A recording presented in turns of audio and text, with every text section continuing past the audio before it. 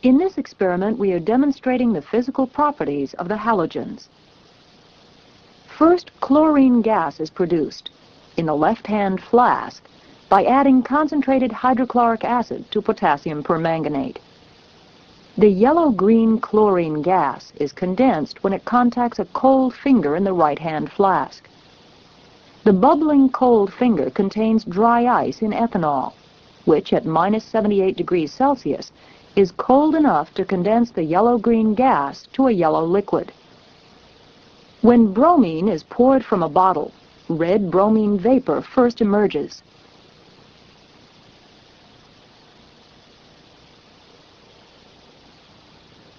Then the dark red liquid bromine pours into the flask.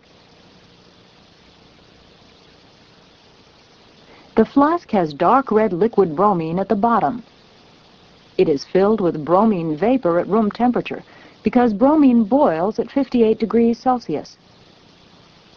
When iodine is gently heated on a hot plate, it vaporizes to form a violet vapor, which condenses on the cold surface of the flask placed on top of the beaker. As the flask is removed, we see crystals of iodine sparkling in the light. Eventually, we see the iodine crystals, which have recrystallized on the flask.